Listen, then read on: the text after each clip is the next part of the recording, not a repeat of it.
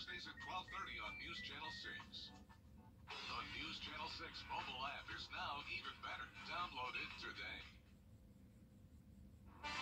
We did it, made it to the Labor Day weekend. Isn't that amazing? Well, what does that mean for us? It means sometimes wet, but sometimes muggy. We're going to talk about your holiday forecast and what to expect. All coming our way next. Right now on your News at 5, Labor Day weekend is here, and we're looking at how gas prices Plus, families in Aiken facing issues due to a school bus driver shortage, how that's affecting them straight ahead. And a new mobile health care unit coming to Emanuel County. We've got the details as your News at 5 starts right now.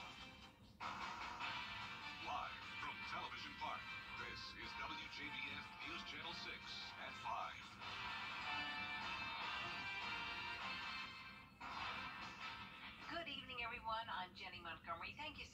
joining us. Coverage you can count on begins with a Jenkins County man remaining behind bars tonight. 35-year-old Alonzo Stewart is accused of killing his girlfriend, Katura Mobley. She was found dead at Cone Homes apartment complex in May. Stewart was arrested yesterday in Statesboro. Law enforcement will be out on the roads this weekend with a goal of getting drunk drivers off the road. Troopers in the two state are taking part in the Hands Across the Border campaign. During this Labor Day weekend, local law enforcement officers will be watching for impaired drivers and holding more sobriety checkpoints.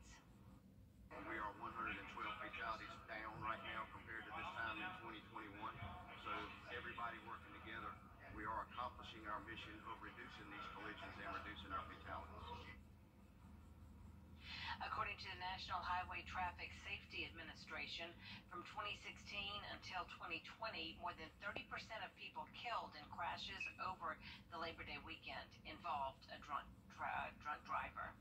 Some of you may be spending time traveling this Labor Day weekend because we're finally saving some money at the pump. News Channel 6's Bria Smith reports. As we near the end of the summer, gas prices are still a hot topic.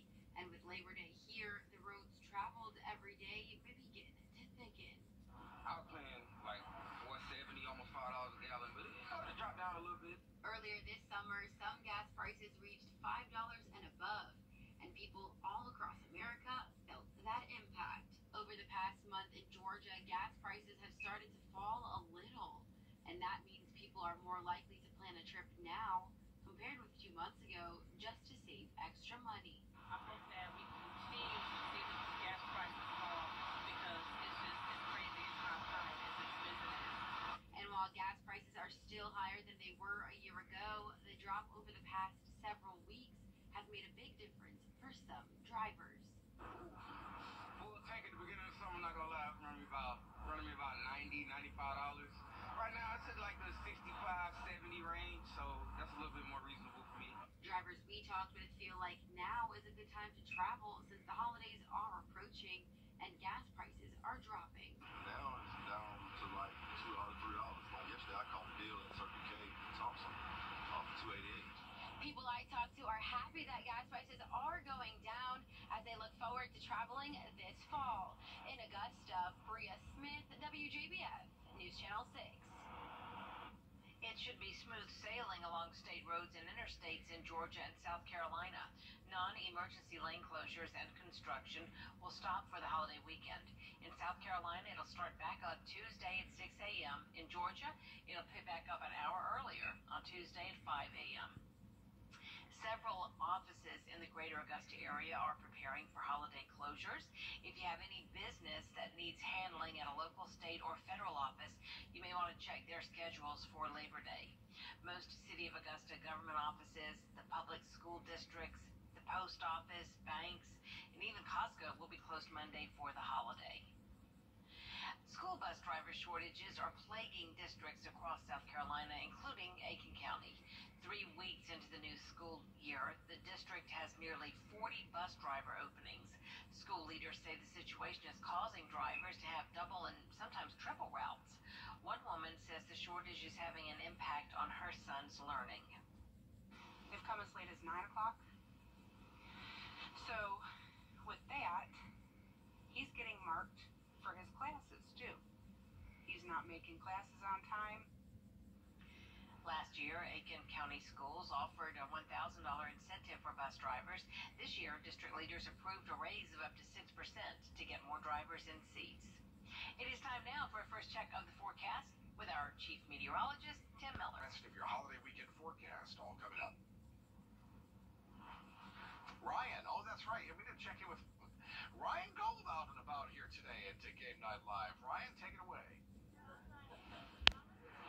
Tim, how could you forget about me? I didn't forget about you, but that's okay. It's okay. Things are looking a lot better here than they were a little earlier. It was a little showery. Sun is coming out now, luckily, but I do see there's a little bit of light rain coming on the horizon. We might get a little bit another dose, but for game time, I think it's going to be great. Speaking of game time, we're the athletic director for Midland Valley High School, Michelle Yeater. Right? How you doing? How you doing? And I believe we're also it's Principal H. Yeah, Principal H. Yeah, big bottom, but that's okay. Hey, Bob. Okay, cool. All right. So, what exactly uh, do you do as an athletic director here? Just oversee the operation of all the athletic events, uh, make sure everything runs smooth on game day, game time, and make sure we get the community what they came out for. That's ex- you know, it's always electric whenever it comes to football. Has has anything changed in recent years where the schools are kind of interacting more with the community? Uh, yes, the community is backs athletics. Once you get the community involved, it just ignites the students to be more energetic and want to play in front of a crowd. And when you get the community support behind you, it just intensifies it. That's uh, that's incredible. And, and from a school perspective, how does has football really changed things around here? Yeah, it, it, it's really nice. You can tell in the hallways, um, there's a lot more energy, a lot of positive stuff, and uh, you know, those kids are are respected. So when they are doing well and they're successful, uh, and they have school spirit, everybody wants to have school spirit because then it becomes cool.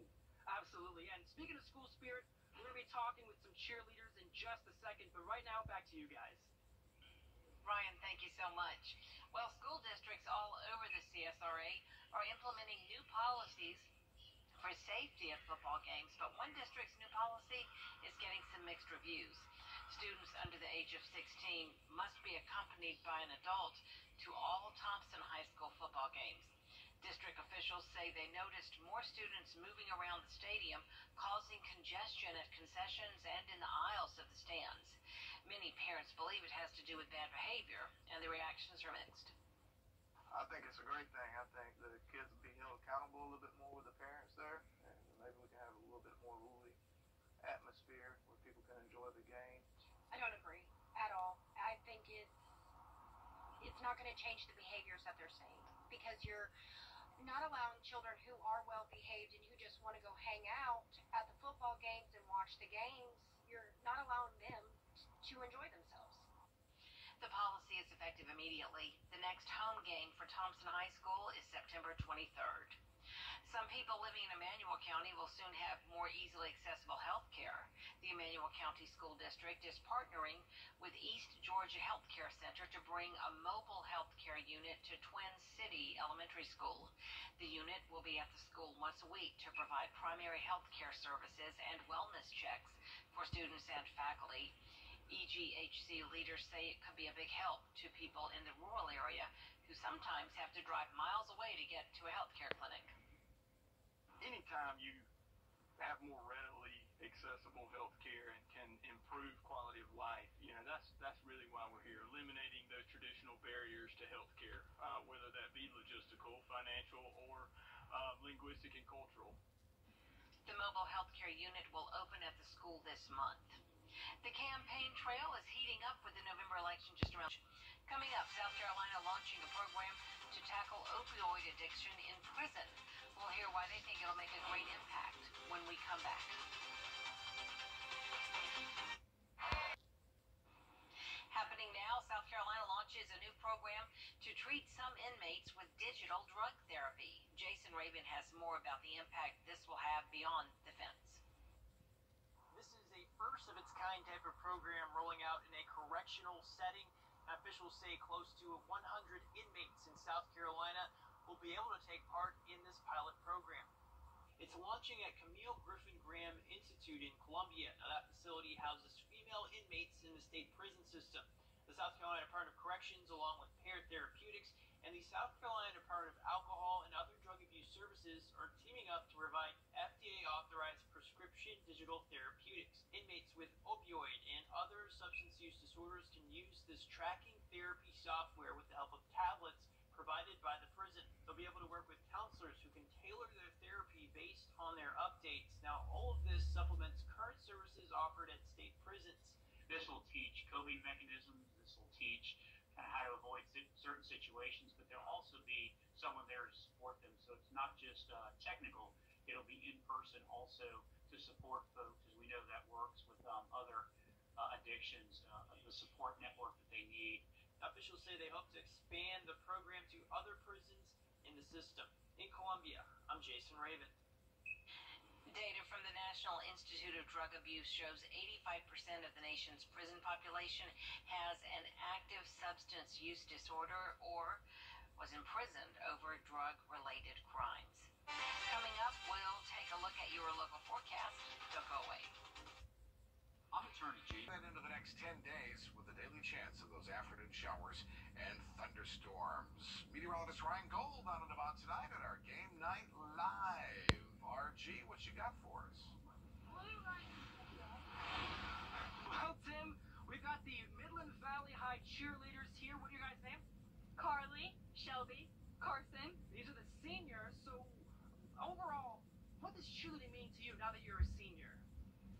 It just means that I get to represent my school in the best way I can, and as a senior, I get to be a role model to everyone else on my team. Being a cheerleader means to me to have a positive attitude, be a role model to my fellow girls as a captain, and supporting my football team and my school. Cheerleading just means being here every Friday night, supporting the Mustangs no matter what, no matter the score, and I'm happy to be a cheerleader in here every Friday. well, you heard it here first. We've got great energy here that the sun is shining. We don't have any more rain expected, at least not major rain like we had earlier. I think it's going to be a great game. Come out here. Back to you guys. All right, Ryan, looks like a lot of fun. Coming up, we'll go to one high school where they prepare for the future in more than one way.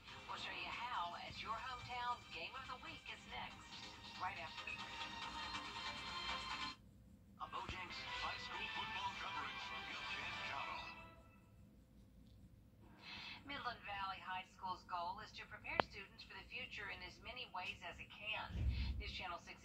Digital reporter Brandon Dawson has the story. Midland Valley High School was established in 1980. Its goal is to prepare students for the future in as many ways as it can. This year we led the, the district in graduation rate. We're way over 93%, which is really, really important. We've never done that at Midland Valley High School before, but we also uh, led the district in all high schools in what's called college and career ready. And uh, we're number one in that too, and that is the key thing to me and the thing I'm most proud of. When students leave the school, the faculty wants their resumes to be at the top of the stack. Programs like the DECA Business Club help them do just that. Kind of gears towards students interested in business, marketing, um, any business management, those types of careers. The students get to work in the school store. They also get the opportunity to complete the marketing communications program. So if they were to take marketing, advertising, and one other business course and be involved in DECA in the school store, they would be able to graduate with a marketing communications completer certificate, certifications for OSHA 10, uh, microbiology, employability skills, and have opportunities to earn scholarships, compete in competitions, and just have great real world experiences. The second class highlighted was their agriculture program. We've doubled it in the past two years and added a new teacher. We teach small animal care, we teach animal science. I do a shop class with woodworking, welding, electricity. Miss Mulligan is our is my co-partner. She works with the horticulture and runs the greenhouses. My agricultural science class is actually learning about different careers within the agriculture industry right now and there's hundreds and thousands of different career options that even if they don't think that they're going to be in the agriculture industry one day, the skills that they learn in this class uh, will be beneficial to them. The school also has a nursing class. This is our upper level class, this is our senior class, so they have 22 skills that they have to master in order to take their CNA exam at the end of the school year, uh, usually in May. Later in the day, we'll have students that'll come in and do some lower level skills, some basic care and things like that, and then they work their way up into vital signs and, and more um, serious uh, care for um, hospital and nursing home setting. The students love their special programs at Midland Valley High School, and the teachers are happy their administration supports them. I feel very honored to be here at Midland Valley and able to do this type of thing. Our principal is a wonderful supporter of our program. Um, we're getting a second greenhouse this year because of his pushing that agenda for us. It's fantastic. We've worked really hard to get where we are. Um, this is my sixth year here at Mill Valley, and the program continues to grow. It's super exciting. We get a lot of support from the. Brandon Dawson, WJBF News Channel 6. I'll see you again at 6, but count on News Channel 6 for more coverage you can count on at 5.30. Dee Griffin's here now to show us what's coming up. Thanks so much, Jenny. Coming up next at 5.30, details on the local school stabbing that leaves one victim dead.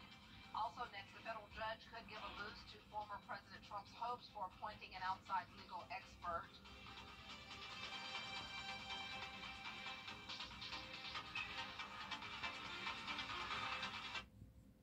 fortunes are